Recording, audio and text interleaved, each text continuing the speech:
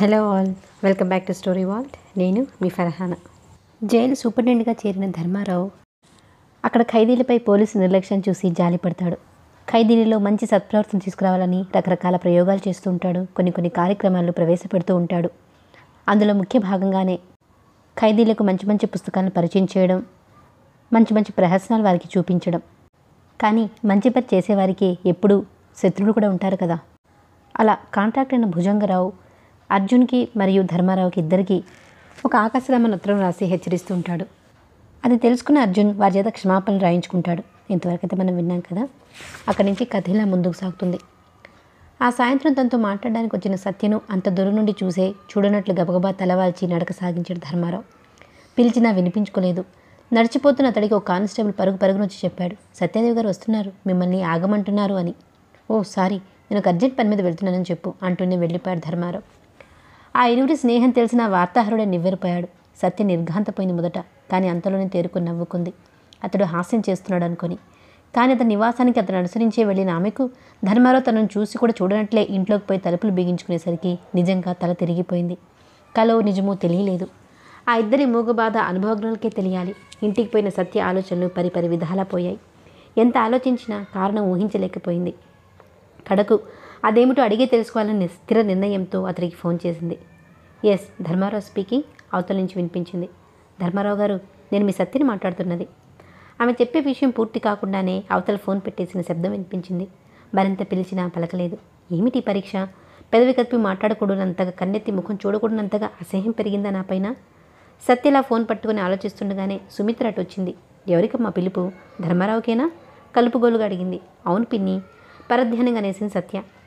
అయితే ఇంకా మానలేదన్నమాట వాడితో స్నేహాలు. కరకరలాడుతున్న కంఠానికి ఉలిక్కిపడింది సత్య.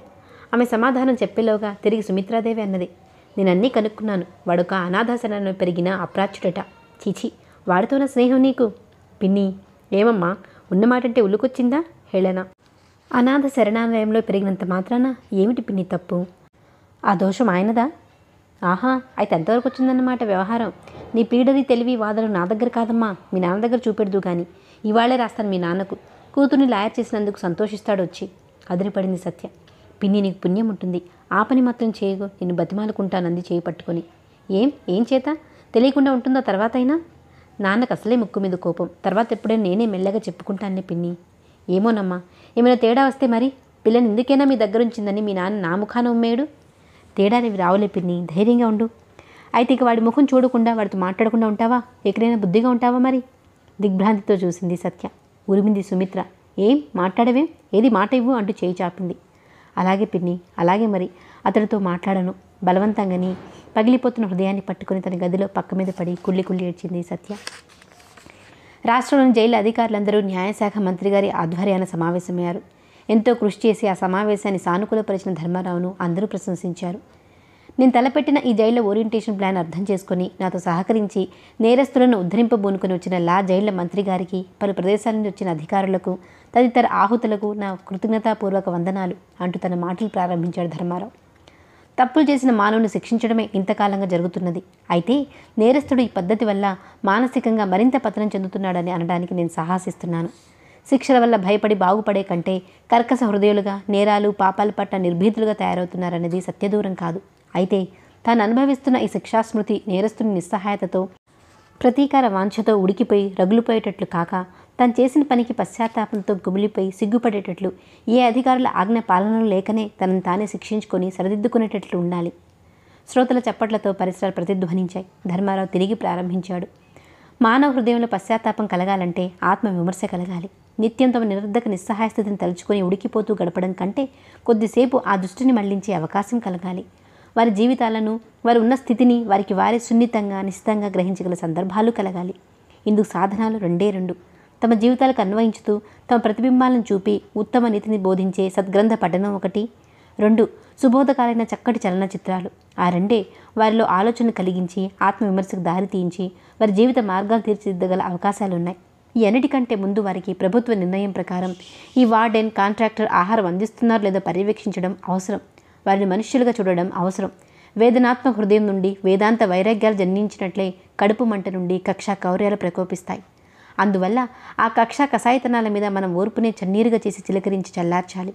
ఇందుకు కొన్ని ఆటంకాలు ఎదురైనా మనమందరం ఒకటై భావగ్రాహ్యత కలిగి తట్టుకొని ఉత్తమ ఫలితాన్ని సాధించాలి. ఎస్ కరెక్ట్ అనే పదాలు వినవచ్చాయి సభాసదుల నుండి. థ్యాంక్స్ కృతజ్ఞతలు తెలియజేస్తూ తిరిగి చెప్పసాగాడు ధర్మారావు. అందువల్ల మనం ఒక ట్రైనింగ్ సెంటర్ ఏర్పరిచి వార్డెన్ డిప్యూటీ వార్డెన్ ఖైదీల పట్ల ఎలా ప్రవర్తించాలో నేర్పాలి. పసివాళ్ళు అల్లరి చేసిన లాలించి మంచి మాటలు చెప్పి దారిలోకి తెచ్చే విధంగా వారి పట్ల వీరు ప్రవర్తించేటట్లుగా బోధించాలి. ఈ ట్రైనింగ్ కేంద్రాలలో ఖైదీల చేత వారు వారు చేయగలిగిన పనిని చేయించుతున్నట్లే వారి వారి అభిరుచులు పెంపొందించుకునేట్లు ఏర్పాట్లు అనగా చదువుకునే వారి గ్రంథాలయం చిత్రకళ సాహిత్య శిల్ప రచనలు వంటి కళలు తెలిసిన వారికి ఆ కళలను అభివృద్ధి చేసుకునే ఏర్పాట్లు. ఇట్లా వ్యక్తికి ఆత్మ వికాసానికి ఆత్మ విమర్శకు దోహదం చేసే ఉండాలని నా అభిప్రాయం. సభలో కొద్దిగా అస్పష్టంగా కలవరం రేకి అణిగిపోయింది. అంతేకాదు సభాసదులందరి వదనాలను పరీక్షగా చూస్తూ చెప్పసాగాడు ధర్మారావు. వారానికి ఒక రోజు వారికి పూర్తిగా ఈ చదువు ప్రసంగాలు ఇత్యాది విషయాలతోనే కాలం గడిపేటట్లు అనుమతి ఇవ్వాలి. వారు తమ వారికి రాసుకునే ఉత్తరాలు వారిని చూడవచ్చిన వ్యక్తులు మొదలైన విషయాలలో వాడిన అభ్యంతరాలు ఆటంకాల వలన బాధపడకుండా చూడడం అత్యవసరం. మనకి ఇంచుమించు రెండు మూడు నెలలకు ఒక పండగే వస్తూనే ఉంటుంది. గనుక ఆయా రోజుల్లో వారే తమలో తామే నృత్య సంగీత నాటకాది వినోదాలతో కాలం గడిపేటట్లు ఏర్పాటు చేయాలి. గౌరవనీయులు దయాహృదయులైన శ్రీ మంత్రివర్యులు ఈ ఏర్పాట్లన్నింటినీ దీనులైన ఈ బందీలకు అనుమతించడమే కాక వారిని సంస్కరించగల చలనచిత్రాలు ఏమైనా వారికి ఈ జైలు ఆవరణలోనే చూపే ఏర్పాట్లు చేయాలని నేను ఖైదీల తరపున అర్థిస్తున్నాను నేను వెలిబుచ్చిన ఈ అభిప్రాయాలపై గౌరవనీయులైన మంత్రి గారు తదితర ఉద్యోగులందరూ కూడా సహృదయంతో తమ తమ అమూల్యాభిప్రాయాలు చెప్పి చర్చలు సాగించి ఈ మహాప్రయత్నాన్ని సఫలీకృతం చేసి నిర్ణయాలు చేయమని అర్థిస్తున్నాను. ధర్మారావు చేసిన ప్రతిపాదనలపై నాలుగు రోజుల పాటు చర్చలు జరిగాయి. ఏ ఒకరిద్దరో మినహా మిగిలిన అందరూ ధర్మారావు అభిప్రాయాలతో ఏకీభవించారు. జైలు మరి ఇంత స్వర్గధామాలు అయిపోతే జీవికకు కాస్త ఇబ్బంది పడే ప్రతివాడు ఏదో ఒక నేరం చేసి ఇక్కడికి వచ్చి హాయిగా గడిపేస్తాడేమో ఒక ఆఫీసర్ బలమైన అభ్యంతరం లేవతీశాడు. ధర్మారావు సమాధానం చెప్పాడు. లేదు ఈ ఏర్పాట్లు చేసే జైళ్ళు నరకప్రాయాలు కాకుండా ఉంటాయే కానీ స్వర్గధామాలు ఎంతమాత్రం కావు. అదీ కాక పైన అధికారులమంటూ మనం ఎప్పుడూ ఉంటానే ఉంటాం. మన ఈ సమావేశాలను ఆరు నెలలకు ఒకసారి ఏర్పాటు చేసుకొని మన ప్రయత్న ఫలితాలను సాధక బాధకాలను పరిస్థితులను సమగ్రంగా పరిశీలించి సందర్భానుసారంగా మార్పులు చేసుకోలేకపోము. అవును. మంత్రి గారితో పాటు అనేకులు ఆమోదం తెలిపారు ధర్మారావు మాటకు. అభ్యంతరం వీగిపోయింది. ఇంతకు ఏర్పాట్లని మనం శ్రమపడి చేస్తే ఫలితాలు బాగుంటాయో వికటిస్తాయో? వాళ్ళు మననే వాజమ్మలు చేస్తే మరొక ఆఫీసర్ మరొక బలమైన అభ్యంతరాన్ని ప్రవేశపెట్టాడు. ధర్మారావు లేచాడు సమాధానం చెప్పడానికి. అవును. ఈ అనుమానం కలగడం సహజమే కానీ ఫలితం బాగుండగలదని ఆశించడానికి నా వద్ద ఆధారాలున్నాయి బలరాం అనే ఖైదీ విషయం నేను ఇదివరకే మీకు చెప్పాను. సరే ఇక్కడ నేను పనిచేస్తున్న ఈ జైల్లోని ఖైదీలందరినీ మీరు చూశారు. వారిలో మార్పు మీకు స్పష్టంగా కనిపిస్తూనే ఉంది. అది మీకు ఇంకా స్పష్టంగా రుజువు కాగలదు. అదిగో మీ గౌరవార్థం ఖైదీలు ఇస్తున్న ప్రదర్శన చూడండి. ఒక బోయేవాడు అతి క్రూరంగా పిట్టల దగ్గర నుండి మనుషుల వరకు వేటాడుతున్నాడు. పాపం పుణ్యం రెండు పదాలకు అర్థం తెలియకుండా బతుకుతున్నాడు. ఒకనాడు నారద మహర్షి ఆ దారిన వెళ్తున్నాడు. జంతువుకు మానవుడికి మానవుడికి మహర్షికి కూడా భేదం తెలియని ఆ బోయ నారదుని విషయంలో కూడా మామూలుగానే ప్రవర్తించాడు. నారదునికి ఆ కిరాతుని జీవితం దిద్దాలనే సద్భావం కలిగింది. అయితే ఎందుకులా నీకు అక్రమ మార్గం అని ప్రశ్నించాడు. మరి ఆలుబిడ్డలను పోషించేదెలా? అందుకు ఇదొక్కటే మార్గమా? మరి నాకు ఇదే వచ్చు? మరి నీ భార్య బిడ్డలు నీ సంపాదనతో పాటు పాపాలను కూడా పుచ్చుకుంటారేమో కనుక్కో? ఎందుకు పుచ్చుకోరు? నా వాళ్ళేగా పోయి అడిగిరా. ఇప్పుడే అడుగుతాను. నమ్మికతో గర్వంతో ఇంటికి వెళ్ళాడు బోయేవాడు. ఒట్టి చేతులతో వచ్చావేం? ఏది ఈనాటి నీ సంపాదన అంటూ ఎదురొచ్చి నిలదీసి ప్రశ్నించింది కిరాతకుడి భార్య. ముందు చెప్పు రోజు నేను ఎన్నో పాపాలు చేసి తెచ్చిన సంపాదన తింటున్నావు కదా ఆ సంపాదనతో పాటు ఆ పాపాలను కూడా నువ్వు స్వీకరిస్తావా? నాకేం పని నీ పాపాలతో? ఎంత మాత్రం స్వీకరించను. నా సంపాదన తింటున్న పిల్లలారా మీరైనా పాపాలు పుచ్చుకున్న విముక్తుని చేస్తారా? పోపో పాపాలు మాకెందుకు?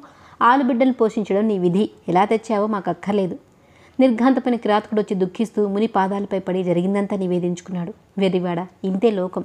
ఎవరికెవరు ఎవరికి వారే. అందుకే ఈ పాపాలు మానివై నీకు తారక మంత్రోపదేశం చేస్తాను. ముని నోటి నుండి మరా అనే పరమ పవిత్ర పదం వెలువడి తన చెవులు సోకగానే కిరాతకుడు మారిపోయాడు. సర్వం మరిచి ఆ తారక మంత్రాన్ని జపింస్తుండగా నారదుడు నిష్క్రమించాడు. దీర్ఘకాలానంతరం తిరిగి ఆ దారిన కార్యార్థియే వెళ్తున్న నారదునికి ఒక వాల్మీకం నుండి మరా మర మర అంటూ తారకరాముని నామస్మరణ వినరావడంతో ఆశ్చర్యంగాడు చూసి ఆ శబ్దం వస్తున్న చోట పెద్ద పుట్టను చెట్టను తొలగించి చూశాడు. ఏళ్ళ తరబడి ఇహలోక మెరుగుని ఆ పుణ్యాత్ముడే నారదవచన ప్రకారం వాల్మీకి అయి రామాయణం రాశాడు. నారదుడుగా జగపతి కిరాతుడుగా బలరాం మహాఘనంగా ఒప్పించారు. ఖైదీలే ప్రదర్శించిన ఆ ప్రహసనం చూసిన అధికారులు మంత్రులు అందరూ ముగ్ధులైపోయారు. మంత్రిగారు ముగింపు ప్రసంగంలో ధర్మారావు తలపెట్టిన మహోన్నత సంస్కరణ అభినందిస్తూ అతను ప్రవేశపెట్టిన అన్ని తీర్మానాలను తన ప్రభుత్వం వారికి నివేదించి సాధ్యమైనంత వరకు సానుకూలమయ్యేటట్లు శక్తివంచన లేకుండా ప్రయత్నిస్తానని హామీ ఇచ్చారు. ఈ లోపుగా ఖైదీలకు ఏమైనా మంచి పుస్తకాలు ఇవ్వడం కొలది వినోదాలు ఏర్పాట్లు చేసుకోవడం వంటి చిన్న చిన్న విషయాల్లో సందర్భానుసారం ప్రవర్తించే అధికారాన్ని ధర్మారావుకి ఇస్తూ ఖైదీలను ఉద్దేశించి మంత్రి గారు ఇలా అన్నారు. ప్రభుత్వం వారికి సిఫారసు చేసే ముందు మీ ప్రవర్తనపై నేను చేస్తున్న చిన్న ప్రయోగం ఇది. దీని ఫలితాల మీదనే సంస్కరణ మీ భవిష్యత్తు ఆధారపడి ఉంటాయి. మీ ప్రవర్తన ఏమాత్రం వికటించి ఎదురుదిరుగుతున్నట్టు కనిపించినా వెంటనే గట్టి జాగ్రత్తలు తీసుకోవాల్సి ఉంటుంది. లా సోషల్ వెల్ఫేర్ మంత్రి గారు చేసిన హెచ్చరిక ఒక ఖైదీలకే కాదు. తమకునని గ్రహించారు ధర్మారావు అర్జున్ ప్రభృతులు ఈ నాలుగు రోజుల సమావేశాలలోనూ రెండు మూడు సార్లు మిత్రాతో సత్య అక్కడ రావడం సంభవించింది. కానీ సత్య ధర్మారావు ఎవరి మట్టుకు వారే మరొకరి వైపు సాధ్యమైనంత వరకు చూడకుండా ఉండటానికే ప్రయత్నించారు. అంతరాంతరాల్లో రంపకోత అనుభవిస్తూ సత్యతో మాట్లాడవలసి వస్తుందనే భయంతో ధర్మారావు మిత్రతో కూడా మాట్లాడడం మానేశాడు. మిత్ర తనంత తాను ఏమైనా అడిగితే తప్పనిసరిగా జవాబు చెప్పి ఊరుకునేవాడు ధర్మారావు. తనెక్కడ పలకరిస్తాడనే భయంతో సత్య ఎవరితోనో కావాలని మాటలు కల్పించుకొని దూర దూరంగా వెళ్ళిపోయేది. దినచర్య అంతా పూర్తి అయి ఇల్లు చేరి సెయ్యపై వాలుతూ తనను తాను అపరిమితమైన బాధతో కుమిలిపోయేవాడు ధర్మారావు. అడుగడుగున నీ సలహాను ప్రతి పనికి ప్రశంసాపూర్వకమైన నీ చిరు హాసాన్ని అందుకునే అదృష్టం అందకుండా పోయింది. నేను దురదృష్టవంతుని సత్య అనుకుంటూ. సత్య రాత్రి బవళ్ళు తనలో కుళ్ళి కుళ్ళి ఏడుస్తున్నది. పినతల్లినైతే ఎలా అయినా ఒప్పించగలను కానీ ధర్మారావే నా ముఖం చూడకుండా పోయారు. అంత పాపం నేనేం చేశాను? అని నన్ను మా పిన్ని ఆంక్ష పెట్టినట్టే ఆయన ఆయన తల్లి ఆజ్ఞాపించిందేమో అని ఊహించి సరిపెట్టుకునేది. ధర్మారావుతో కలిసి జంటగా తిరిగిన ఏకాంత నిర్జన ప్రదేశాలు కొండరాళ్ళు నదీ తీరాలు ఇప్పుడు ఒంటరిగా వెళ్తున్న ఆమెను పరిహసిస్తున్నాయి. అది కాక ఆనాడు ఆ కత్తి విసిరిన వాళ్ళెవరో మళ్ళీ ఏం ప్రమాదం జరుగుతుందో అనే భయం ఒక వంక ఆమెను దహించి వేస్తుంది. ఒకసారి ముఖాముఖి అడిగి వెద్దునా అనుకుంటుంది. అంతలో తర్వాతి పరిణామాలను ఊహించి అదిరిపడి ఆ ప్రయత్నం విరమించుకుంటుంది. ఒక దినం మిత్రాతో మాట్లాడి వెళ్ళిపోతున్న అర్జున్ ఆపింది సత్య. ధర్మారావు గారు మీరు దగ్గర స్నేహితులు అనుకుంటాను ఒక మాట అడగనా అంటూ ఆశ్చర్యపోయాడు అర్జున్. అడగండి. అతడు మీరు ప్రాణ స్నేహితులేమో అని ఎదురడిగాడు. సత్య సమాధానం చెప్పలేదు. కొద్దిసేపు ఊరుకొని చివరకు మెల్లగా చెప్పింది. ఒకనాడు సాయంకాలం నేను ధర్మారావు గారు మాట్లాడుకుంటుంటే అక్కడ ఒక కత్తి వచ్చి పడింది. అవును ఆ విషయాలన్నీ ధర్మారావు గారు చెప్పారు. ఓహో మీకు చెప్పారన్నమాట. సంతోష ఆశ్చర్యాలు మిళితమయ్యాయి సత్య మాటల్లో. ఆయన ఆ రోజే అప్పుడే మీకు చెప్తానన్నారు కానీ నేనే వద్దన్నాను. అనవసరమైన కల్లోలమని. అర్జున్ మౌనంగా వింటున్నాడు. సత్య తిరిగి చెప్పింది. కానీ ఇప్పుడు అనుకుంటున్నాను మీ వంటి వారికి తెలిస్తే మంచిదని. ఆయనకు మరేం పర్వాలేదంటారా? ఇంకెవరు ఏమి కుట్రలు పనడం లేదు కదా? అర్జున్ అంతరంగంలో మహా ఆశ్చర్యపోయాడు. ఓ అయితే ఆమెకేం తెలియదన్నమాట. పైకి ప్రకాశంగా అన్నాడు. లేదమ్మా ఆయనకేమీ పర్వాలేదు. ఆ విషయం అప్పుడే చెప్పాడు నాకు ధర్మారావు. ఆ వ్యక్తులను ఆరా తీసి వారికి వార్నింగ్ కూడా ఇచ్చాను. ఇంకేం జరగదని అనుకుంటున్నాను. థ్యాంక్స్ నా మనస్సు కుదుట పడింది. అర్జున్ ఇది అడగబోయి వెనకాడాడు తటపటాయిస్తూ. వాళ్ళెవరు అర్జున్ గారు? ఎవరికి ఆయనపై అంత కక్ష? ఎందుకులేండమ్మా మీకు? అదంతా రహస్యంగా జరిగిపోయింది. మరి వాళ్ళు తలెత్తరు. మరీ సెలవు. తర్వాత ధర్మారావును కలిసినప్పుడు అర్జున్ నవ్వుతూ ప్రశ్నించాడు. అయితే మిస్టర్ లోకోద్ధరుణ హడావుడిలో స్వజనాన్ని మర్చిపోయారేమిటి? ధర్మారావు అర్థం కాక చూశాడు. సత్యదేవి పాపం చాలా ఆత్రం ప్రకటించారు మీ విషయంలో. ఆ రోజున కత్తి ఉత్తరవు దంతమంతా చెప్పారు. ఆ తర్వాత మీరు ఎందుకు కలుసుకోలేదు? తల్లి మాటలను బట్టి తను ఒకప్పుడు సత్య విషయంలో పడిన అనుమానం నిరాధారమని తేలగానే ధర్మారావు చాలా బాధపడ్డాడు. ఆ విషయం మీతో చెప్పవద్దన్నది ఆమె చెప్పిందా? అన్నాడు. అర్జున్ సందర్భాన్ని మరొక రీతిగా అర్థం చేసుకున్నాడు. బిగ్గరగా నవ్వేస్తూ కలహాలు సాధారణమే కానీ వాటిని కలకాలం కాపురం చేయనీకండి ధర్మారావు. సింపుల్గా తేలిపోవాలి అంటూ నవ్వి వెళ్ళిపోయాడు. ధర్మారావు సిగ్గుతో బాధతో కృంగిపోయాడు. సత్య విషయం అతడికి ఒక తీరని సమస్య అయిపోయింది. ఛా! ఇక్కడికి వస్తూనే అన్ని రకాల సమస్యలు ఎదురయ్యాయో అని తనపై తానే జాలిపడేవాడు. ఛ! ఎవరిపై వారు జాలిపడ్డం కంటే దీనదశ మరొకటి లేదు అని మళ్ళీ అసహించుకునేవాడు. పూర్తి అశాంతికి స్థావరమైపోయింది అతడి మనసు. ఒక అర్ధరాత్రి వేళ మెలకు వచ్చిన ధర్మారావు నిద్ర పట్టక అటు ఇటు తిరుగుతుండగా ఏవో గుసగుసలు వినిపించాయి. ఆశ్చర్యపోతూ కొద్ది క్షణాలు అలాగే పక్క మీద ఉండే విన్నాడు. ఎవరో స్త్రీ ఏడుస్తున్నట్లు ఉండి ఉండి వెక్కిళ్ళు వినిపించసాగాయి. నేను ఈ బాధ భరించలేను. ఇక్కడ ఉద్యోగం వద్దంటే మీరు విన్నారు కాదు. దయామయ గొంతు స్పష్టంగా వినిపించింది. ఏమిటి రాజ్యలక్ష్మీదేవి? మీరు నా ఉపాయాన్ని గ్రహించలేకుండా ఉన్నారు. సౌమ్యంగా నచ్చజెప్తుంటున్న నారాయణ స్వామి కంఠం. రాజ్యలక్ష్మి ఈమెవరు? వింటున్న ధర్మారావు కౌతుకం పట్టలేక సవ్వడి చేయకుండా లేచి వెళ్ళి కిటికీలోండి హాల్లోకి చూశాడు. అక్కడ దయామయ్యి నారాయణ స్వామి మినహా మరెవరూ లేకపోవడంతో మరింత ఆశ్చర్యపోవలసి వచ్చింది. అయితే దయామయ్య అసలు పేరు రాజ్యలక్ష్మి అన్నమాట. పైగా కరుణ అని పిలిచే నారాయణ స్వామి ఆమెను మీరు అంటే అని గౌరవిస్తున్నాడు. ఏమిటి వింత? ఎంతటి రహస్యాలు? ఆశ్చర్యంతో స్థానువేయాడు ధర్మారావు.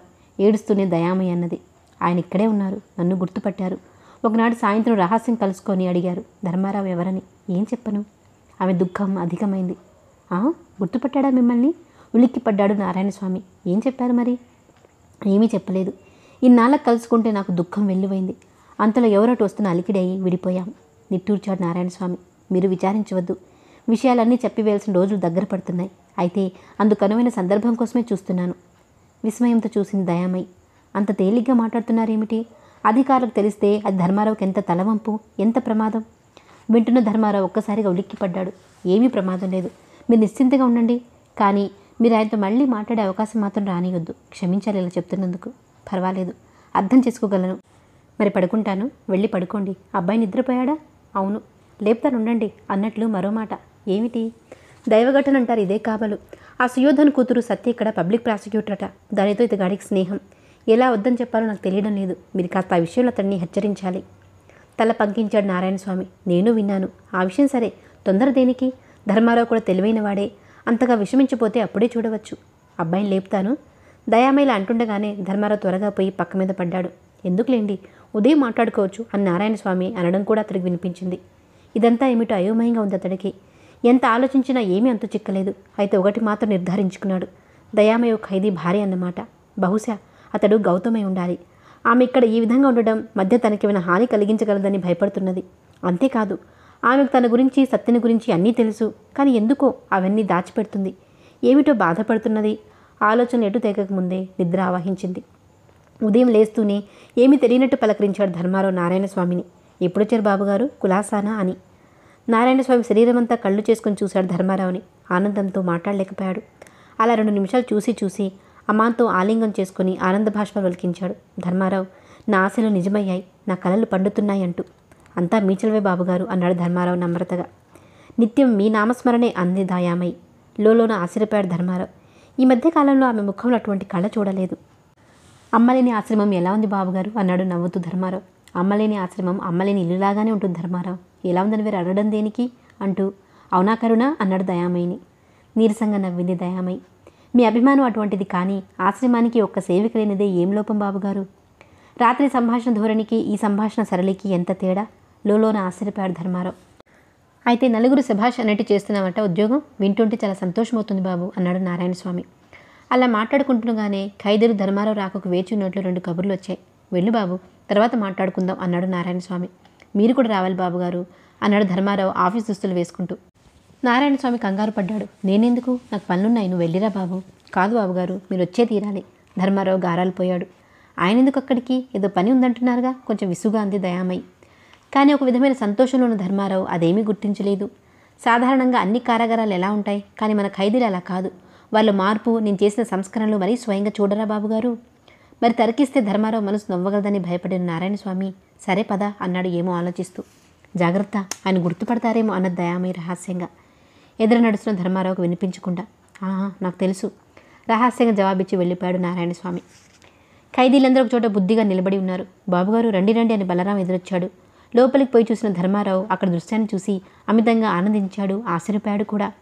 జైలు ఆవరణలో ఎదుట పక్కగా నాలుగు కర్రలు పాతి పైన ఆకులతో పందిర్లాగా వేసి మామిడి తోరణాలు కట్టారు. లోపల చక్కటి శ్రీనివాసుని పటం పూజలకు ఎదురు చూస్తున్నది. శంకు చక్ర గదాధిధారి అభయ ముద్రతో నిల్చున్నాడు. ధర్మారావు ముఖం ఆనందంతో కళకళలాడిపోయింది. వెలువలా ప్రవహించిపోతున్న ఆనందంతో నా ప్రయత్నాన్ని ఫలించాయంటూ అవనత నేత్రుడై భక్తి పురస్సరంగా చేతులు జోడించి నిలబడ్డాడు.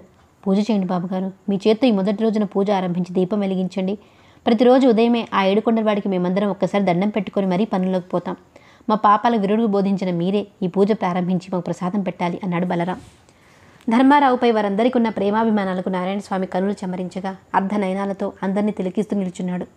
ధర్మారావు చిరు నగవుతో ఖైదీలతో అన్నాడు మీకు నా మీద ఉన్న అభిమానానికి కృతజ్ఞుడిని కానీ మీరు నాకు ఇచ్చిన ఈ గౌరవాన్ని నేను శ్రీ నారాయణ స్వామి గారికి ఇచ్చి వారే ఈరోజు పూజ చేసి మనల్ని ఆశీర్వదించాలని కోరుతున్నాను. వారు నా జీవితాన్ని తీర్చిదిద్దిన మహామహులు. మరందరి జీవితాలకు దారి చూపుతున్న దాతలు. వారు నాకు తల్లి తండ్రి గురువు దైవం అన్నీ. నేడు ఈ సమయంలో దైవికంగా వారు ఇక్కడ రావడం మన అదృష్టం. చిత్తంబాబు తమ ఇష్టం. ఖైదీలు వెంటనే అంగీకరించారు. నారాయణ స్వామి ఆనందం వర్ణనాతీతం. పుష్పాలతో ఆ దేవుడి పట్టాన్ని పూజించి అరటిపండు ప్రసాదించుంచి జ్యోతి వెలిగించాడు. ఖైదీలందరూ భక్తిగా వీణుల విందుగా దైవ సంకీర్ణ చేశారు. అనంతరం ఒక్కొక్కరు వచ్చి నారాయణ స్వామి ఇచ్చిన ప్రసాదం స్వీకరించి భక్తితో నమస్కరించారు. తెల్లని గడ్డంతో నలుపు తెలుపు కలిసిన గిరిజాలతో ధవళ వస్త్రాలతో ప్రశాంత నైర్మల్యాలు ఒలికించుతున్న వదనంతో కళా దీప్తిమంతమైన కనులతో శాంతిదూతలో ఉన్న నారాయణ స్వామిని చూసిన ఖైదీలందరికీ ఎనలేని భక్తిభావం కదులుతున్నది. నిశ్శబ్దంగా తననే వీక్షిస్తున్న వారందరినీ సంబోధిస్తూ చెప్పాడు నారాయణ స్వామి. నేను దైవం ఎదుట వెలిగించిన ఈ జ్యోతి మీ జీవితాలకే జ్యోతి కావాలని ఈ జ్యోతి ప్రసాదించిన వెలుగు బాటలలో మీరు మీ జీవితాలను తీర్చిదిద్దుకోగలరని ఆశిస్తున్నాను. ఆధ్యాత్మిక చింతన మానవుని ఊహలకు మంచి మార్గంలోకి తిప్పడమే కాక మనస్సుకు ఆనాటి కానాడు అధిక సుఖశాంతులు ప్రసాదిస్తున్నది. అధికారుల మధ్య మీ మధ్య ఉన్న ఇటువంటి సామరస్యమే ఎల్లవేళలా నెలకొంటే ఇక ఈ భూమి స్వర్గమే కాగలదు. మీ సద్వర్తనానికి నేను చాలా సంతోషిస్తున్నాను. ఆ భగవంతుడు మీ పట్ల దయగా ప్రవర్తించాలని ప్రార్థిస్తున్నాను. ధర్మారావు గారికి జై. బాబు గారికి జై అని ఖైదీల సంతోషాన్ని జై జై ధ్వానాలతో వెలిపిస్తుండగా నారాయణ స్వామి ధర్మారావు వెళ్ళిపోవడానికి దారితీశారు ఇంతకు ఈ బొమ్మ ఎవరు వేశారు? చాలా బాగుంది అన్నాడు ధర్మారావు. గౌతమ్ గారు. ఖైదీల సమాధానం. సరే మనం వెళ్దాం పదా. నారాయణ స్వామి ఆ విషయం పట్టనట్టు త్వరపడ్డాడు. అదేమి గమనించిన ధర్మారావు ఆయన గౌతమ్ అని నిజంగా చెప్పుకోదగిన వ్యక్తి అంటూ అటు చూశాడు. గౌతమ్ అందరికి దూరంగా ఒక చెట్టు నానుకు నిలబడి కనుబొమ్మల ముడివైచి ఏదో పరిశోధిస్తున్నట్టు తీవ్రమైన పరిశీలన దృక్కులతో నారాయణ స్వామి తదేకంగా తిలకిస్తున్నాడు. కానీ అప్పటికే నారాయణ స్వామి జీపును సమీపించడం చూసి తాను కూడా వడివడిగా అటు వెళ్ళిపోయాడు ధర్మారావు. ఆ సాయంత్రం స్వప్రదేశానికి వెళ్ళిపోవడానికి సిద్ధమయ్యాడు నారాయణ స్వామి. అప్పుడే వెళ్తారా? మిమ్మల్ని మా మిత్రుడు పోలీస్ సూపరింటెండెంట్కు వాళ్ళకి పరిచయం చేయాలనుకున్నాను అన్నాడు ధర్మారావు సమాధానంగా. అతి తీవ్రంగా సమాధానం చెప్పాడు నారాయణ స్వామి చూడు ధర్మారావు నాకు ఏ అధికారం నీవు చూపనక్కర్లేదు. నీ అధికారం నువ్వు అతి జాగ్రత్తగా నిలుపుకుంటే నాకు అదే చాలు. తర్వాత నువ్వు ఇది నా శాసనం గుర్తుంచుకో. ఎప్పుడు ఏ పోలీస్ అధికారిని నా దగ్గరకు కానీ నేను నడుపుతున్న ఆశ్రమానికి కానీ తీసుకురావద్దు చూపవద్దు. నా ప్రసక్తి వారి వద్ద తేవద్దు. ధర్మారావు వర్ణనాతీతమైన ఆశ్చర్యానికి లోనయ్యాడు. తాను పసిబాలుడుగా ఉన్న నాటి నుంచి ఈనాటి వరకు ఆయన సన్నిధినే పెరిగి పెద్దవాడయ్యాడు. కానీ ఎప్పుడూ ఆయన వాక్యల శాసనంగా వెలువడ్డం కానీ స్వరంలో అతడి కాఠిని గాంభీర్యాలు తొనికిసలాడడం కానీ తనకు అనుభవంలోకి రాలేదు. అలాగే విస్మయం తననే తిలికిస్తూ నిలబడిన అతడి నేత్రాల్లోని ప్రశ్నను అర్థం చేసుకున్న నారాయణ స్వామి కొద్దిగా గాంభీర్యం సడలించి చిరు నవ్వుతూ అన్నాడు నేను చెప్పినది ఆచరించడమే నీ కర్తవ్యం. ఏమిటి? ఎందుకు? అనే ప్రశ్నలు వద్దు. నేను నీ క్షేమాభిలాషులనే విషయం నీకు విదితమే. అలాగే బాబుగారు తల వాల్చి నమ్రతతో అన్నాడు ధర్మారావు. కానీ నారాయణస్వామి వెళ్ళిపోయి నాలుగు రోజులైనా ధర్మారావు మనస్సులో సందేహ నివృత్తి కాలేదు. ఒక సందేహం కాదు ఒక భావం కాదు.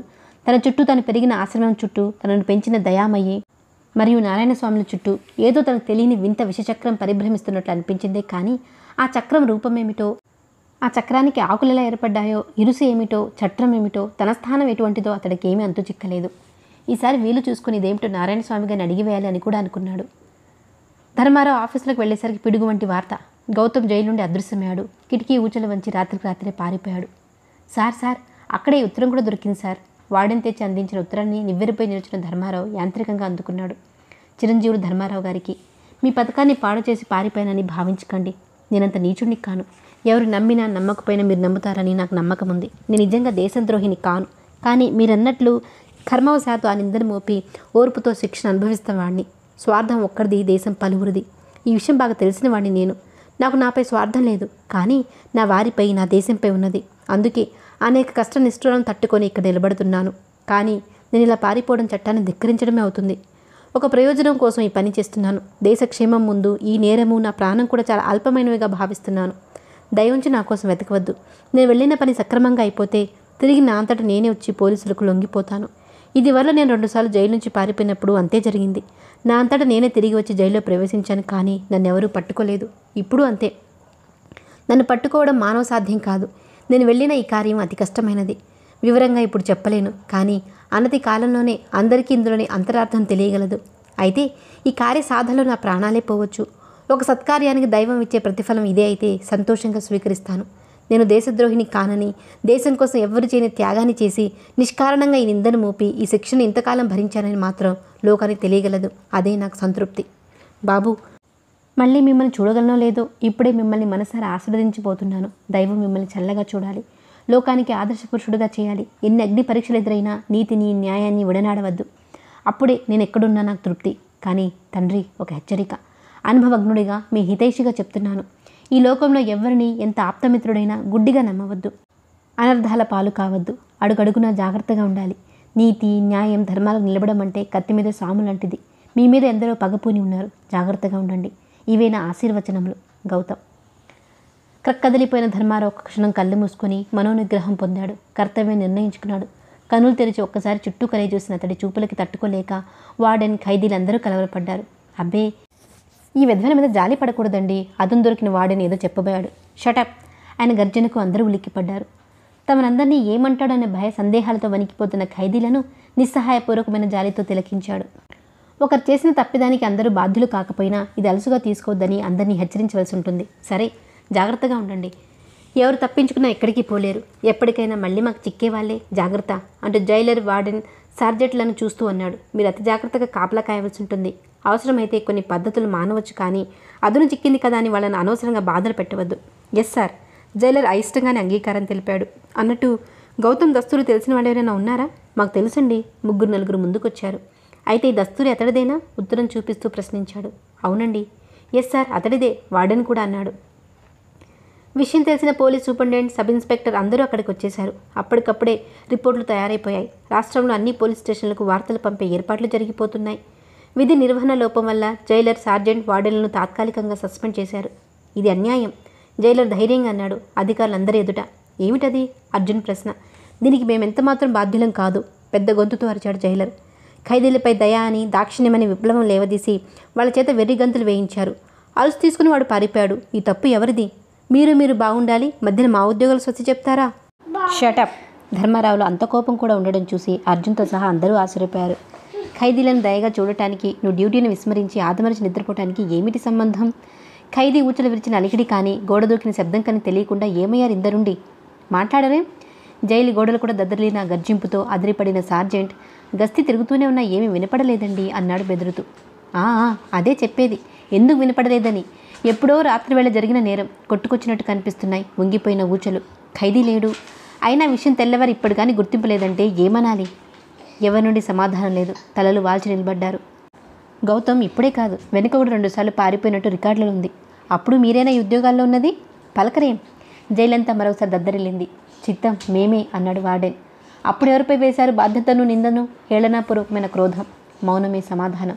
సరే స్థిరంగా గంభీరంగా ఉంది ధర్మారావు కంఠం. ఇదంతా ఒకరి ప్రయత్నాలకు ఆటంకమో మరొకరి ప్రయత్నాలకు బలమో ఏమైతేనే?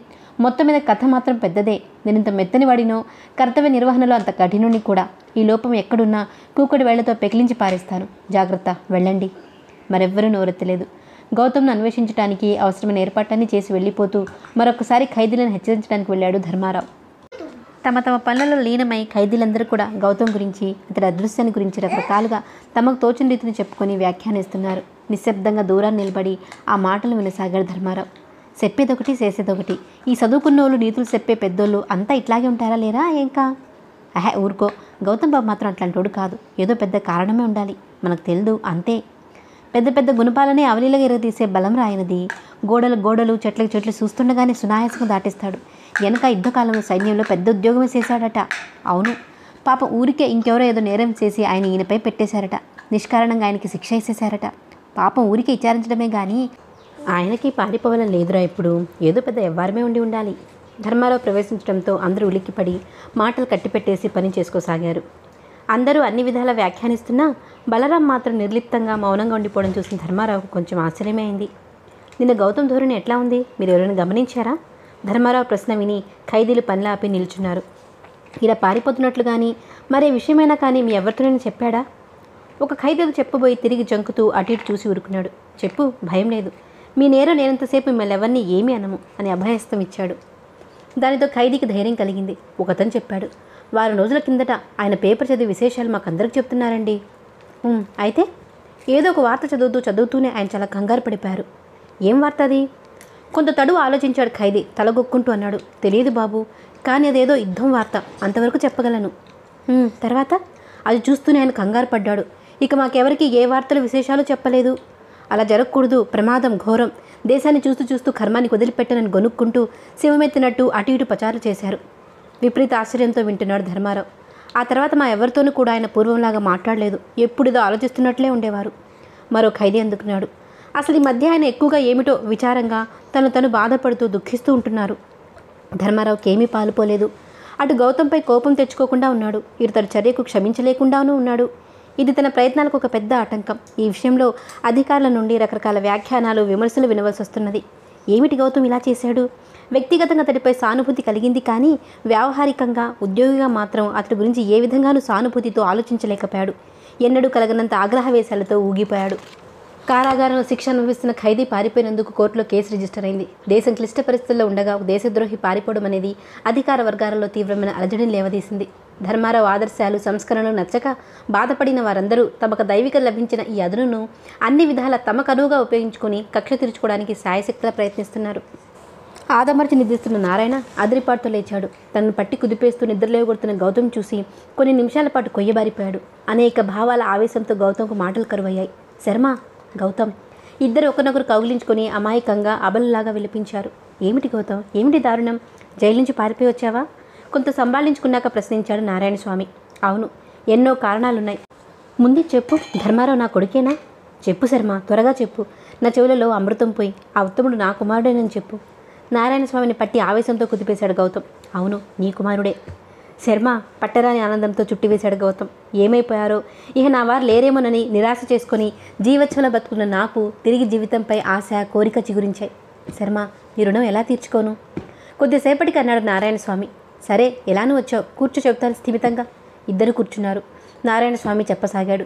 నువ్వు తరచూ జైలు నుండి పారిపోయి వస్తుంటే ప్రమాదమని ఇక మా జాడ నీకు తెలియకుండా జాగ్రత్త పడ్డాను. ఇక్కడ ఈ అనాథాశరణాలయం స్థాపించి నారాయణ స్వామి సారథిగా పేరు మార్చుకొని ధనికుడిలాగా నటించడం మొదలుపెట్టాను. నారాయణ స్వామి కదూ?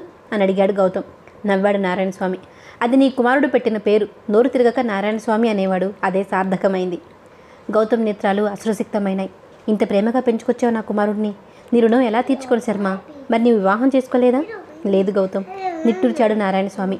ఒక దేశం కోసం ఒక న్యాయం కోసం వ్యక్తి సుఖాలను విస్మరించాలి. మరి నీ భార్యను కుమారుని అజ్ఞాతంగా ఉంచి రక్షించాలి. నీవు దేశద్రోహి కావని దేశభక్తుడవని ఏనాటికైనా నిరూపించాలి. ఇదే నా దీక్ష. అందువల్ల సంసార జంజాటంలో పడలేదు. భారంగా నిశ్వసించాడు గౌతమ్.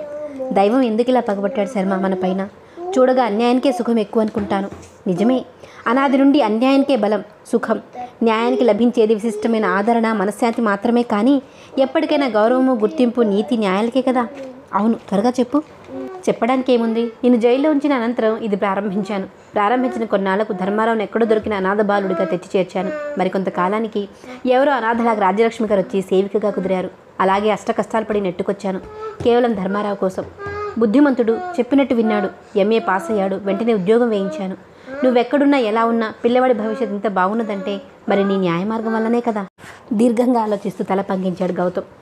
ధర్మారావు మీద ప్రత్యేక శ్రద్ధ చూపుతున్నట్టు ఎవరూ పసిగట్టకుండా అందరికీ చదువులు చెప్పించడానికి ఒకటేమిటి? అన్ని విషయాల్లోనూ ఎంతో క్లిష్ట సమస్యలతో బాధపడ్డాను. అయితేనేం? ఫలితం దక్కింది అదే పదివేలు. ధర్మారావుకు నేను అతని తండ్రిని తెలియదా ఏమీ చెప్పలేదా?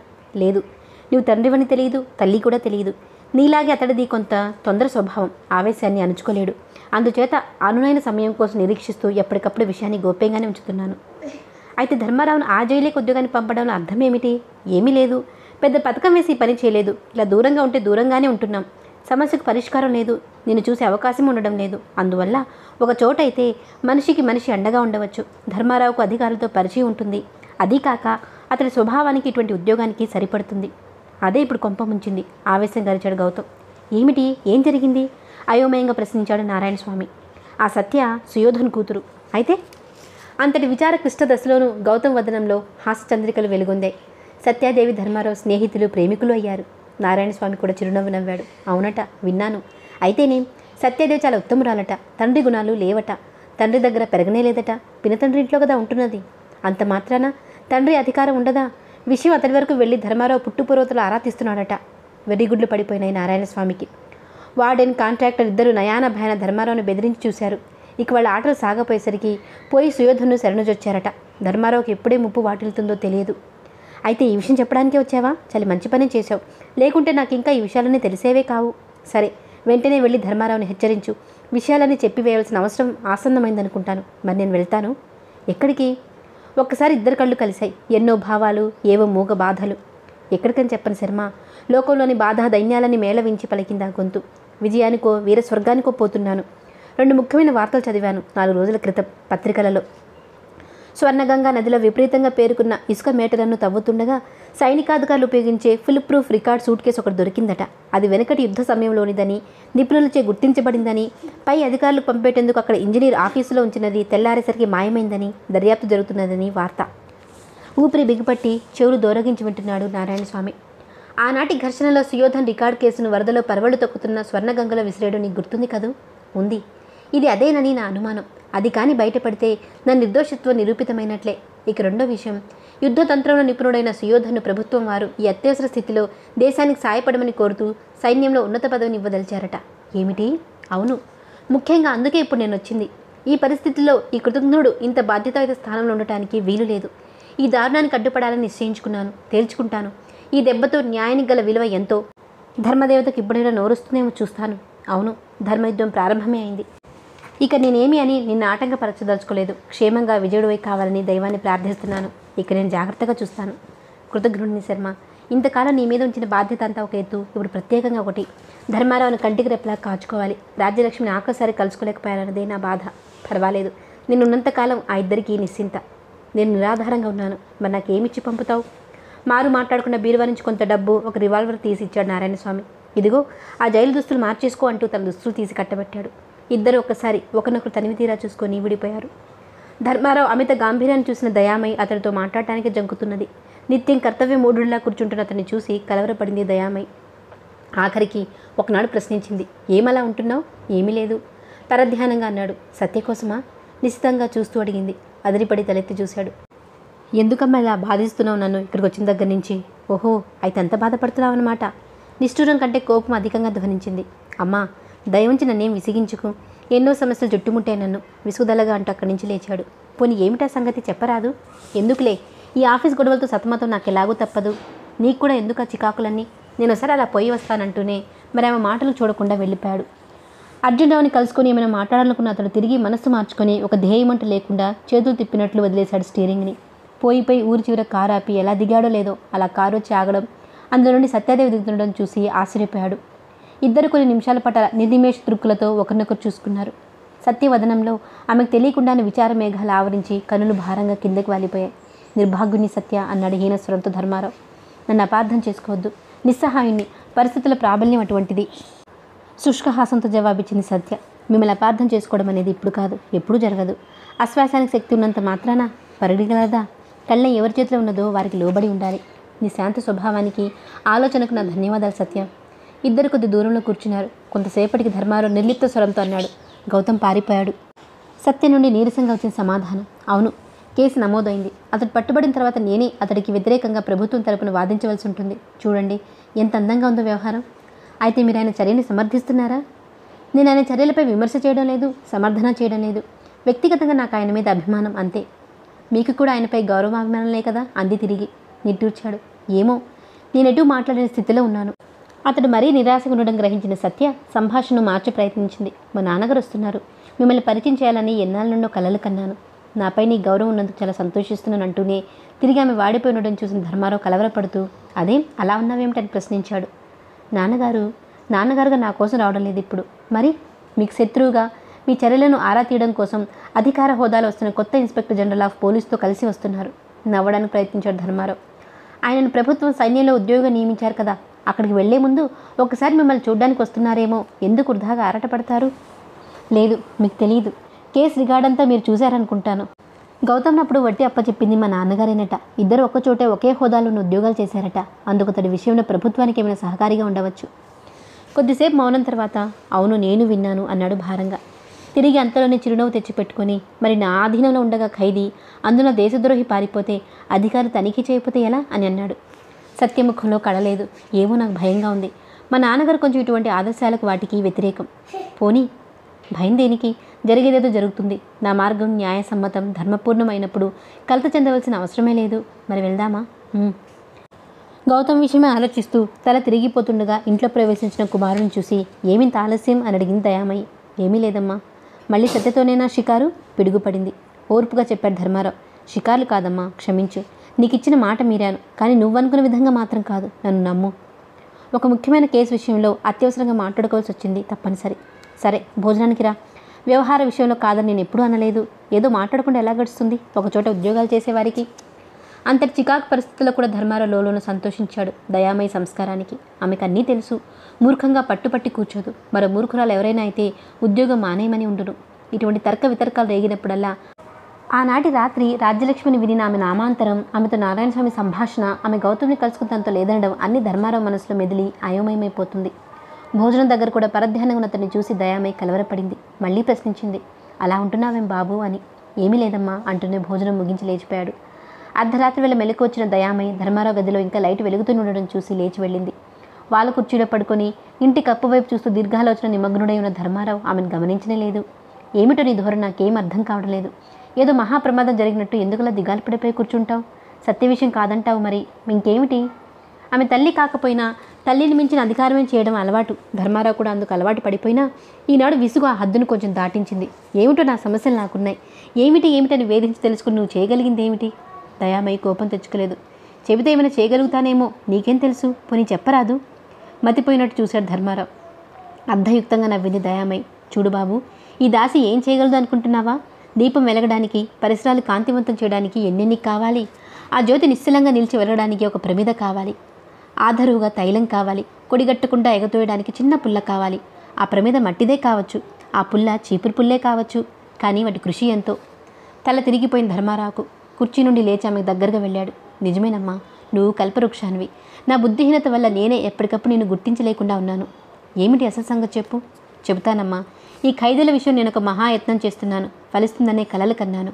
ఆ విషయం నాకు తెలుసు. కానీ ఇప్పుడు ఆ ప్రయత్నాలకు పెద్ద ఆటంకం ఏర్పడిందమ్మా. ఓ ఖైదీ పారిపోయాడు. ఈ సంఘటన నా చేతులకు కాళ్ళకు సంకెళ్ళు వేసి నా నోటిని మూసివేసింది. అలాగా? పర్వాలేదు. కంగారు పడకు. పరిస్థితులు అవే సర్దుకుంటాయి. ఈనాడు నువ్వు వచ్చాకనే దొంగలు పారిపోవడం కొత్తగా జరగలేదుగా? పంజరంలో పక్షులు ఎప్పుడు పారిపోవడానికే ప్రయత్నిస్తుంటాయి. అది నిజమే. కానీ ఇప్పుడు పరిస్థితులు అంత తేలిగ్గా తోసివేల్సినవి కాదమ్మా. దేశం చాలా విపత్కర పరిస్థితిలో ఉంది. దేశద్రోహి దీర్ఘకాలంగా కారాగారం అణచిపెట్టబడిన వ్యక్తి ఇప్పుడు పారిపోయాడు. దీర్ఘకాలంగానా? ఎవరతడు? గౌతమ్ అని నేను చెప్తుంటాను. అతడే. ఆ? కెవ్వుమన్న దయామై నీరసపడినట్టు అక్కడే ఉన్న కుర్చీలో కూర్చునిపోయింది తను తెలివి తక్కువ పనిచేశాడు అప్పుడు గ్రహించాడు ధర్మారావు. అయినా ఏమి ఎరగనట్టే? ఏమిటమ్మా? అలా అయిపోయావేమిటి? అని అడిగాడు. ఏముంది నాయన? నిస్పృహ నీరసాలతో విలపించింది. ప్రమిదనుందని గర్వంగా చెప్పాను కానీ అది చిల్లు ప్రమిదని అందులో తైలం నిలవదని గుర్తించలేకపోయాను. కొన్ని క్షణాల పాటు ఆమెను పరిశీలనగా చూసిన ధర్మారావు సూటిగా ప్రశ్నించాడు. అమ్మా నిజం చెప్పు. నువ్వు గౌతమ్ ఎరుగుదువా? దయామయ్య ఉలికి పడలేదు. బరువుగా నిట్టూర్చింది. ఎరుగుదును బాబు ఎరుగుదును. కానీ ఏం చెప్పను ఏమని చెప్పను? నేను చెప్పలేను. అయ్యో ఎంత పని జరిగింది భగవాన్?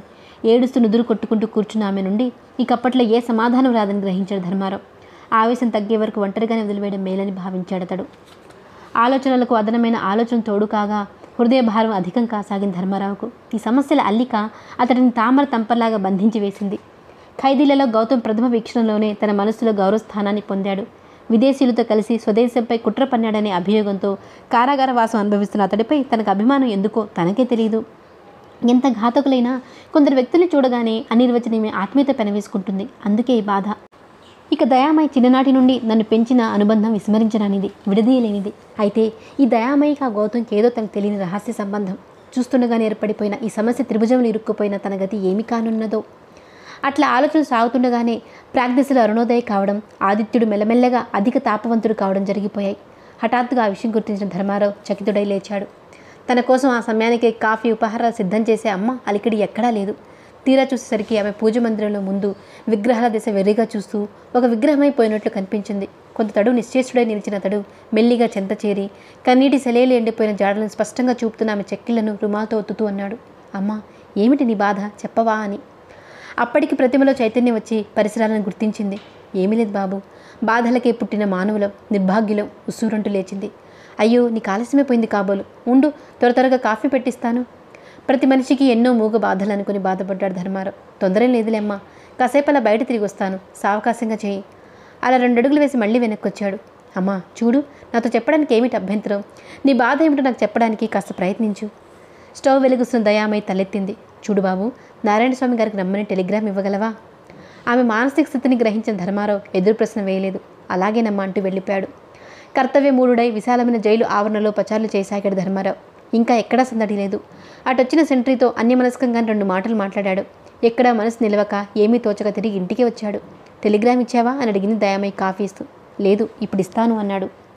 పెద్ద సంభాషణ ఏమీ జరగలేదు. ఎవరి ఆలోచనలో వారున్నారు. ఎనిమిది గంటలకు అతడు ఆఫీస్ దుస్తులు వేసుకుని తయారవుతుండగా మెల్లగా సమీపించింది దయామై ఏమిటి? అన్నట్లు చూశాడు ధర్మారావు. ఆ ఖైదీ విషయం ఏం నిర్ణయించావు? లోలోన చెలరేగుతున్న భావ పరంపరను అంచుకుంటూ చెప్పాడు. ఆలోచించడానికి నేనెవరినమ్మా? నేరస్తుడు పారిపోయాడు. చట్టం వెంటాడుతుంది. ఇందులో నేను నిమిత్త మాత్రమే. అలా కాదు. స్థిరంగా అన్న దయామై మరేమిటమ్మా? ఆశ్చర్యం ప్రకటించాడు ధర్మారావు.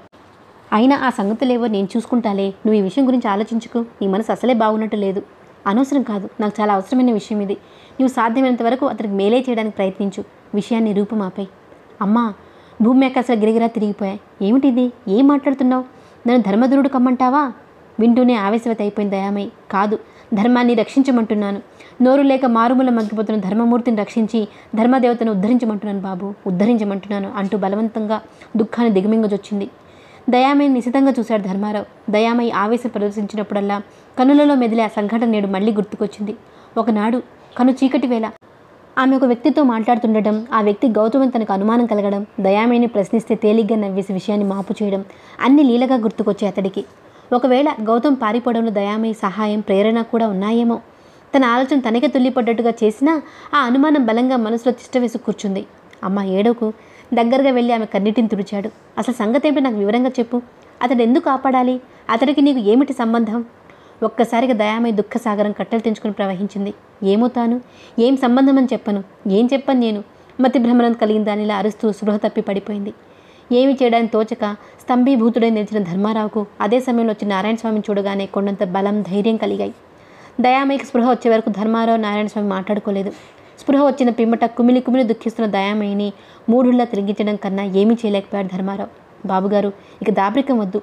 నేను ఈ రంపపు కొద్ద భరించలేను. చెప్పండి అంతా చెప్పనని ఇంకా అధికంగా దుఃఖిస్తున్న దయామయ్యని ఓదార్చ ప్రయత్నించాడు నారాయణ స్వామి. ఇక ఎవరూ దాచలేము. చెప్పవలసిన సమయం రానే వచ్చింది. కాస్త సమాధానపడి ఉరుడిలు దయామయ్యి ఆ సన్నివేశాన్ని అయోమయంగా తిలికించసాగాడు ధర్మారావు. నాకేమిటో మతిపోతున్నది? ఏమిటి బాబుగారు ఇదంతా? తల రెండు చేతులతోనూ పట్టుకొని ప్రశ్నించాడు. నారాయణ స్వామి ధర్మారావు దగ్గరగా వచ్చి కూర్చున్నాడు. ధర్మారావు నేను కొన్ని ముఖ్య విషయాలు ఇంతకాలం అతి కష్టం మీద గోప్యంగా ఉంచినవి ఇప్పుడు నీకు చెప్తున్నాను. నువ్వు చాలా జాగ్రత్తగా వినాలి. గుండె గట్టి చేసుకో. సిద్ధంగానే ఉన్నాను చెప్పండి. నా చుట్టూ ఏదో రహస్య వల్ల ఉన్నదని ఏనాడో గ్రహించాను. కానీ ఎన్నిసార్లు అడిగినా అమ్మ చెప్పలేదు. నారాయణ స్వామి కూర్చున్న చోటు నుండి లేచి ఒకసారి బయటికి పోయి పరిసరాలన్నీ పరిశీలించాడు. ఎవరు ఆ చుట్టుపక్కల ఏర నిర్ధారించుకున్న తర్వాత తలుపులన్నీ మూసివచ్చి తగ్గు స్వరంతో చెప్పని ఆరంభించాడు. జైలు నుండి పారిపోయి గౌతమ్ వచ్చి నన్ను కలిశాడు. ఆ? ఉలిక్కి పడ్డారు శ్రోతలు ఇరువురు కూడా. అవును ధర్మారావు గౌతమ్ నేను సహోద్యోగులం ఒకప్పుడు ప్రాణ స్నేహితులం. అయోమయంగా చూడసాగాడు ధర్మారావు. నారాయణ స్వామి మందర గంభీర స్వరం చెప్పుకుంటూ సాగిపోయింది. కాలం వక్రించింది. ఇద్దరం వెడిపోయి నేను అజ్ఞాతంగా అతడు ఖైదీగా బతకాల్సి వచ్చింది. అమాయకులైన అతడి భార్య కుమారుడు చెట్టు పుట్ట పట్టిపోవాల్సి వచ్చింది. దైవం ఏమాత్రం దయతలిచినందువల్ల అతడి కుమారుడు ఇప్పుడు ప్రయోజకుడై తండ్రిని ఉద్ధరించే అర్హత కలిగి ఉన్నాడు. ఎవరతడు? కుతూహలంగా కూర్చున్న చోటు నుంచి లేచాడు ధర్మారావు. ఆత్రం పట్టజాలక. చెప్తున్నాను. ఆగిపోయి దయామయిని ధర్మారావుని పరిశీలనగా చూశాడు నారాయణ స్వామి చెప్పండి బాబుగారు ఇదంతా ఏమిటో ఇంక సంశయంలో నేను ఉండలేను. నువ్వే ధర్మారావు. ఈ దయామయే నీ తల్లి రాజ్యలక్ష్మి. బ్రాన్పడిపోయాడు ధర్మారావు. మాటలుడిగి చేతులు దక్కి చూపు నిలిపివేశాడు. బాబు వెర్రి ఆవేశం వచ్చేసింది దయామయ్యకి ధర్మారావు రెండు చేతులతో పట్టి కుదిపేస్తూ బోర్న విలిపించసాగింది. కన్న తల్లినై ఉండి నీ దాసిగా నటించి బతకడానికి ఎంత బాధపడిపోయానో అని ఏడ్చేసింది. అమ్మా ధర్మారావు కన్నీరు కూడా కట్టెలు తెంచుకుంది. నాకు ఒక తల్లి ఉందా? అమ్మా నువ్వు నా తల్లివా? ఆ అపూర్వ సన్నివేశాన్ని నిర్నిమేషంగా తిలికిస్తూ నిలబడిపోయాడు నారాయణ స్వామి మరి ఇంతకాలం నాకు ఈ సంగతులని ఎందుకు చెప్పలేదు? ఏమిటి దాపరికం అర్థం? నుదురు కొట్టుకున్నాడు ధర్మారావు. భగవాన్ గౌతమ్ నా తండ్రి. తండ్రి మీదనే అధికారి నేను అని కుమిలిపోయాడు. అలా అధైర్యపడకు. విషయమంతా చెప్తాను విను అంటూ నారాయణ స్వామి ధర్మారావు వెన్ను సవరిస్తూ దగ్గర కూర్చోబెట్టుకున్నాడు. రెండో ప్రపంచ యుద్ధం జరుగుతున్న రోజులవి. స్వర్ణగంగా డామ్ దగ్గర గస్తీ దళంలో ఉద్యోగి గౌతమ్. నేను అక్కడే రహస్య వార్తాహరుణ్ణి. ఓ మధ్యలోనే అందుకున్నాడు ధర్మారావు. రికార్డ్ అంతా నేను చూశాను. అయితే విష్ణునారాయణ శర్మ మీరేనా? ష్ రహస్యం అన్నట్టు సైగ చేశాడు నారాయణ స్వామి. అవును నేనే. అంటూ లేచి కిటికీ నుండి చూపులు బయటికి సారించి చుట్టుపట్ల ఎవరు లేరని విషయాన్ని మరోసారి నిర్ధారించుకుని వచ్చాడు. ధర్మారావు ముఖంలో కంఠస్వరంలో అసహ్యం ప్రతిబింబించింది. ఇటువంటి దేశద్రోహి కుమారుని ఎందుకు చింతిస్తున్నాను? ఛీ ఈ వార్త ఇప్పుడు తెలియకపోయినా బాగుండేది దిక్కుమాలిన వాణ్ణి. అనాథని అనుకోవటంలోనే ఇంతకంటే సుఖం ఉన్నది ధర్మారావు దయామయ్య నారాయణ స్వామి ఒకేసారి క్రోధంతో సంబోధించారు. అవును ధర్మారావు మాటలు చూపులు కూడా కర్కశంగా మారిపోయాయి. ఈ పాపిష్టి రహస్యాన్ని ఇన్నాళ్ళు దాచిపెట్టిన వాళ్ళు ఇప్పుడు ఎందుకు బహిరంగ కావించారు? ఈ కుట్రలు నన్ను భాగస్వామి కమ్మనేనా? అలా ఒక్కనాటికి జరగదు. తల్లి తండ్రి స్వార్థం కాదు నాకు ప్రధానం. నా దేశం. ఇందుకు ప్రాణాలైనా ఒడ్డుతాను కానీ ఒక దుర్మార్గుని రక్షించలేను. నోర్ముయ్ దయామై చేయి ధర్మారావు చెంపపై చెల్లుమంది. ఈనాడు విపరీత ఆవేశంలో ఆమె తనంతా నిగ్రహించలేకుండా ఉన్నది. ఛీ ఏమిటి ఆవేశం దయామై కాస్త నిదానించు అంటూ నారాయణ స్వామి ధర్మారావు వైపు తిరిగాడు. ధర్మారావు నేత్రాలలో అశ్రుజలం పెదవులపై జరగని లాస్యం. పర్వాలేదు బాబుగారు. అమ్మగా ఆమెకు నాపై అధికారం ఇది. నిజంగా ఇందులో ఎంత మాధుర్యం ఉందో నాకు కదా తెలుసు. దయామై మాట్లాడలేకపోయినా చూపులలో అనిర్వచనమైన వేదన కనిపించింది. నారాయణ స్వామి నిండుగా నవ్వాడు. అది నిజమే కానీ ముందు అసలు విషయం చెప్పనీయండి. ఎవరు ఆవేశం ప్రదర్శించవద్దు. తల్లి తనయుడు అంగీకరించారు. చూడు ధర్మారావు అంతా నువ్వు చదివానంటున్నావు కానీ కర్మవశాత్తు జరిగిన విషయం మరుగున పడి దుర్మార్గుల కథనాలు తల రూపొందింది. యథార్థం విషయం విను. ఉండండి బాబుగారు అంటూ మౌనంగా ఏదో ఆలోచించసాగాడు. ఏం ధర్మారావు? నీకు నమ్మకం కలగలేదా? నెమ్మదిగా ప్రశ్నించాడు నారాయణస్వామి. ధర్మారావు మాట్లాడలేదు. నారాయణస్వామి నిట్టూరులోని చిరునగవును మిళితం చేసి అన్నాడు. నిజమే నమ్మలేని మాటే కానీ నీ ధర్మ నిరతికి నాకు చాలా సంతోషంగా ఉంది. మనఃపూర్వకంగా చెప్తున్నాను. ధర్మారావు మౌనం చెదరలేదు. రాజలక్ష్మీదేవి ఫోటోలున్నాయా? తెస్తారా? అన్నాడు నారాయణ స్వామి ఆమె వెంటనే లేచి వెళ్ళి తెచ్చిన ఫోటోలను ధర్మారావు చూపుతూ అన్నాడు నారాయణ స్వామి ఇవిగో చూడు మనమందరం ఇలా చెల్లాచెదురు కాకపూర్వం అంటే పద్నాలుగు పదిహేను ఏళ్ళ క్రితం. నువ్వు మీ అమ్మ నాన్న తీయించుకున్న ఫోటో ఇది. నిన్ను డెహ్రాడూన్లో సైనిక్ స్కూల్ పంపించే ముందు తీయించుకున్నారు. చూడు పరిశీలనగా చూశాడు ధర్మారావు. గౌతమ్ దయామయ్య యవ్వనంలో ఉన్నారు. ఆ రూపురేఖలు టీవీ నరిమల్యం నేత్రానందకరంగా ఉన్నాయి. ఏడెనిమిదేళ్ళ బాలుడుగా తాను. స్పష్టంగా రూపురేఖలు తెలుస్తున్నాయి. నిజంగా తనకు తానే ముద్దొస్తున్నాడు. చిరునవ్వుతో అన్నాడు నారాయణ స్వామి నమ్మకం కుదిరిందా? నేను నిజమే చెప్పానని. ఇంకా నిదర్శనాలు చూపగలను. వద్దు బాబు గారు సిగ్గుపడుతూ నొచ్చుకుంటూ ఉన్నాడు ధర్మారావు. ఇవన్నీ చూస్తుంటే నాకేమిటో లీలగా కొన్ని కొన్ని మనసులో కదులుతున్నాయి. కానీ ఏమిటిది? మరీ పసివాణ్ణి కానే. అన్ని విషయాలు పోనీయండి. కనీసం అమ్మనైనా గుర్తించలేకపోయానేమిటి? అది సహజమే ధర్మారావు. ఎందుకంటే నువ్వంతకు సంవత్సరం ముందే డెహ్రాడూన్ పంపివేయబడ్డావు కదా. ఇంటిని ఇంటి వద్ద వారిని మరిపించడానికి శతవిధాల శ్రమపడుతుంటారు అటువంటి విద్యాలయాలలో. అవును తలపంకించాడు ధర్మారావు. సరే అసలు విషయం త్వరగా చెప్తాను నేను అట్టే వ్యవధి లేదు. నేను తొందరగా వెళ్ళాలి. చాలా పనులున్నాయి. ఏమిటి చెప్పండి? ఆ కేసు విషయంలో దోషి సుయోధన్. మన దేశానికి సంబంధించిన కాగితాలేవో శత్రువులకు అందిస్తున్నాడు. ఆ విషయాన్ని నేను గౌతమ్ పసిగట్టి ఆటంకపరిచాం. కానీ ఏం చేస్తాం? దైవమే ప్రతికూలించాడు. తన నేరాన్ని సుయోధన్ మా మీద నెట్టి తప్పుకున్నాడు. అందరూ అదే నమ్మారు. నేను పారిపోగలిగాను కానీ గౌతమ్ ధైర్యంగా నిలబడ్డాడు. అధర్మంగా ప్రవర్తించలేదని నమ్మేదెవరు? ఖైదీ అయ్యాడు. అధికారులు నా ఇల్లు గౌతమ్ ఇల్లు కూడా శోధించారు. నేను దూరంగా ఆలోచించి మీ అమ్మను ఒక సురక్షిత ప్రదేశంలో దాచి నేను ఆ స్కూల్ నుంచి ఒక అర్ధరాత్రి వేళ ఎత్తుకొచ్చాను. దేశద్రోహి కుటుంబానికి ఎక్కడ అన్న వస్త్రాలు కానీ నిల్వ నీడ కానీ ఉండవు మరి. మరి ఆ తర్వాత? ఆ తర్వాత ఏముంది? ఏం చేయాలో దిక్కు తోచలేదు. నిన్ను ఎలా పెంచాలో అర్థం కాలేదు. గౌతమ్ది కొంచెం తొందర స్వభావం. తలుచుకున్నప్పుడు ఎంత పనైనా చేసేస్తాడు. ఏమీ అడ్డురావు అతడికి. తను చేస్తున్నది సరైనదైతే చాలనుకుంటాడు కానీ తక్కిన విషయాలు పరిణామాలు ఆలోచించడు. ఈ ఉగ్ర స్వభావం తొందర స్వభావమే అతడి అభివృద్ధికి ఆటంకాలైపోయాయి. జైలు నుండి రెండుసార్లు పారిపోవడం వల్ల అతడి శిక్ష ఎక్కువైంది. అందువల్ల నేను బాగా ఆలోచించి అతనికి మన జాడ తెలియనీయకుండా మిమ్మల్ని తీసుకొని ఎవరూ తెలియని ప్రదేశానికి పోయి కొన్నాళ్ళ నుండి పేరు మార్చుకొని ఆశ్రమం స్థాపించి అజ్ఞాతవాసం ప్రారంభించాను. ఇక ఈ మధ్యకాలంలో గౌతమ్కు మన విషయాలే తెలియవు. చనిపోయామని అనుకుని ఉండవచ్చు. అందుకే జైల్లో బుద్ధిగా ఉన్నాడు. నేను జాగ్రత్తగా ఆలోచించి ఒక ప్రయోజనాన్ని సాధించడానికే నేను ఇక్కడ ఉద్యోగిగా చేశాను. ఏమిటది? అని అడిగాడు ధర్మారావు. ఏముంది? తలుచుకుంటే అధికారుల వల్ల కానీ పనులుండవు. నువ్వే సూపరింటెండెంట్ కనుక నీ తండ్రి నిర్దోషిత్వాన్ని నిరూపించుకోగల అవకాశం కల్పించు. జరిగిన విషయాన్ని కాస్త చూచి చూడనట్లు వదిలేయి. ఈ గడువులో ఆనాడు సుయోధంచి అణిచిపెట్టబడిన ఆధారాలను వెలికి తీసి తనను తాను రక్షించుకోవడమే కాక దేశాన్ని కూడా రక్షించగలడు. ఆనాడు సుయోధన వల్లనే దేశం రక్షించబడిందని నమ్మిన ప్రభుత్వం అతన్ని గౌరవించింది. అందుకే ప్రభుత్వం వారు ఇప్పుడు ఈ అత్యవసర పరిస్థితుల్లో దేశ రక్షణ దళంలో పనిచేయమని సుయోధన్ని పిలిచారట. సైనికోద్యోగ త్వరలోనే పోబోతున్నాడు. ఆ విషయం పత్రికలో చదివిన గౌతమ్ ఇప్పుడు దేశానికి ఏ అనర్థం తెచ్చిపెడతాడో ఈ సుయోధన్ అని భయపడి తెగించాడట. ఆలోచిస్తున్నాడు ధర్మారావు. పత్రికలలో ఒక వార్త చదివి ఆయన చాలా కంగారు పడిపోయారు. అది యుద్ధ వార్త అని మాత్రం చెప్పగలను అని ఒక ఖైదీ అన్నాడు. గౌతమ్ పారిపోయిన నాడు. నువ్వు కూడా ఈ ప్రయత్నంలో సహకరించి ధర్మారావు అన్నాడు నారాయణ స్వామి అసంభవం ఉగ్రుడైపోయాడు ధర్మారావు. మీరు చెప్పింది విని సాధారణ మానవుడిగా నేను సానుభూతి చూపగలను కానీ ప్రభుత్వోద్యోగిగా నా ధర్మం వేరే ఉంది. ఏమిటది? నివ్వెరపోయిన నారాయణ స్వామి నీరస్వరంతో ప్రశ్నించాడు. ఏనాటి నుండో అరెస్ట్ వారెంట్ ఉన్న మిమ్మల్ని ముందు అరెస్ట్ చేయడం నా విధి. ఆ పైన గౌతమ్ కోసం వెతకడం నా ధర్మం. అటువంటి సమాధాన్ని ఏమాత్రం ఆశించిన నారాయణ స్వామి దయామై ఇద్దరి వదనాలు కళా రక్తహీనమై పాలిపోయాయి. అది చూసిన ధర్మారావు గుండె తరుక్కుపోయింది. ధర్మ నిర్వహణ కత్తి మీద సాము వంటిది బాబుగారు. పెంచి పెద్ద చేసిన మీతో ఇలా మాట్లాడవలసి వచ్చింది. నిర్భాగ్యుణ్ణి. ఇటువంటి ఉద్యోగంలో ఉండి మీకు ఎలా సాయం చేయగలుగుతాను? నన్ను ఇటువంటి ఉద్యోగంలో అసలు ఎందుకు చేర్పించారు? అంటూ నారాయణస్వామి పాదాలపై వాలి కన్నీరు కురిపించాడు. ఆ దయనీయ అవస్థ నుండి ఇంకా తేరుకోక మునిపే టెలిఫోన్ మోగడంతో ధర్మారావు లేచి అందుకున్నాడు తప్పనిసరిగా. అవును ధర్మారావునే. సత్యదేవి గారా? ఏమిటి? నాన్నగారు వచ్చారా? రానియండి. భయం దేనికి? ఏమిటంత కంగారు పడిపోతున్నారు? అదిగో ఆ సుయోధన కూతురే ఈ సత్య. దీనితో స్నేహం ఏమి ఉప్పు తెస్తుందో తెలియదు. విసుగుదల గంటను దయామి మాటలు వినిపించుకోలేదు నారాయణస్వామి. శ్రద్ధగా ధర్మారావు మాటలే వినసాగాడు. ఏమిటి? పారిపోమంటారా? అరెస్ట్ చేస్తారా నన్ను? ఎందుకు? నేనేం చేశాను? పర్వాలేదు చేయనీయండి. నాకేం భయం లేదు. నేనేం తప్పు చేయలేదు. ఎవరిని మోసం చేయలేదు? అసలు నాకేమీ తెలియదు ఫోన్ పెట్టేసి వస్తున్న అతడు నారాయణస్వామి కంగారు చూసి విస్తుపోయాడు. నారాయణస్వామి షాక్ తిన్నట్టు కుర్చీ నుంచి లేచాడు. ఏమిటి? నిన్న అరెస్టా? సుయోధన్ వచ్చేశాడా? అయితే రహస్యం తెలిసిపోయింది కాబోలు అన్నాడు భయాక్రోధాలతో కళ్ళు పెద్దవి చేస్తూ. ధర్మారావు మౌనంగా గంభీరంగా నిలబడ్డాడు. బాబు అలా నిల్చున్నావేమిటి? భయోత్పాతంతో అరిచింది దయామై ఇక అంతకంటే మార్గమేముంది? పరిస్థితులు ఎలా నిలబడితే అలా నిలబడవలసిన వాడినే చలన రహితంగానే జవాబిచ్చాడు. కాదు నడవండి. పారిపోవాలి.